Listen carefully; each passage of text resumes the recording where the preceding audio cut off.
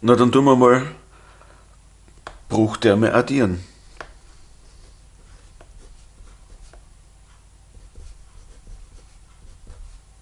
Das funktioniert genau so, wie wir es mit den Zahlen gemacht haben. 12 plus 7. Fertig. Und nicht vergessen, Definitionsmenge, die reellen Zahlen ohne, was darf x nicht werden? 0 darf es nicht werden.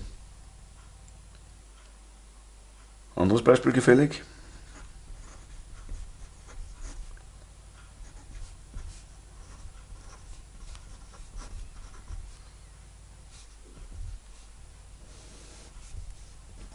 K ist der gemeinsame Nenner. 3a plus b minus und jetzt wird da die meisten reinhauen. Nicht vergessen, dass da eine Klammer gehört.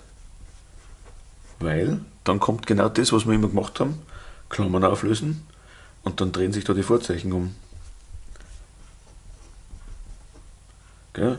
Minus und Klammer lasse ich weg und aus dem Plus, das da steht, wird jetzt ein Minus und aus dem Minus, das da steht, wird ein Plus.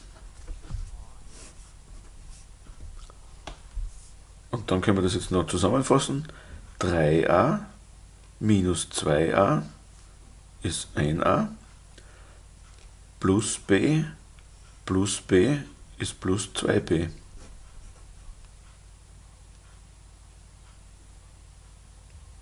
War eigentlich gar nicht so schwer.